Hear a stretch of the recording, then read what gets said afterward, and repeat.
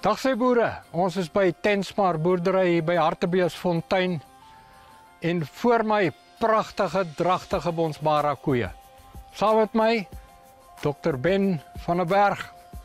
Ben, as ek so rond kyk en ek kyk hier agter my die berge met die bosse, dan is bosluis oorgedraagde siektes lyk my kan hier voorkom. Vertel ons 'n bietjie. Ofafa ons is in 'n in 'n area waar ons wat onstabiel is ten opsigte van hardwater. Ons het die randjies daarbo hier agter ons met baie bos en met baie doringbome. Hy word nie koud genoeg in die winter nie. So ons hardwaterbosluise hou van daai area.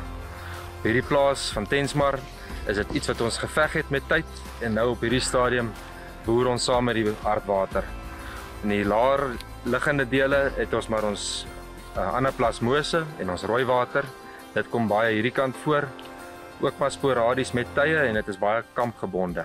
En hierdie ander siektes wat hier voorkom, die anaplasmose, jy kry temperature wat gebeur daar. Selfs maar hulle enige koorsreaksie kan maak dat 'n koe haar kalf aborteer en dit is maar groot verliese wat ons mee sit. So bosluisbeheer, Bosluisbeheer is, is, is moet strategies toegepas word hierso met 'n opgietmiddel.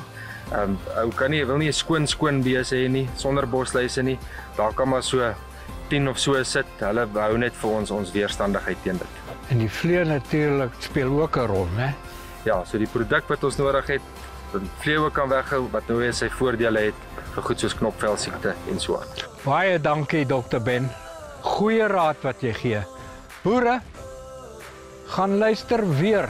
Neem hierdie hele reeks op dat jy kan weet hoe om hardwater te beheer. Lekker boer.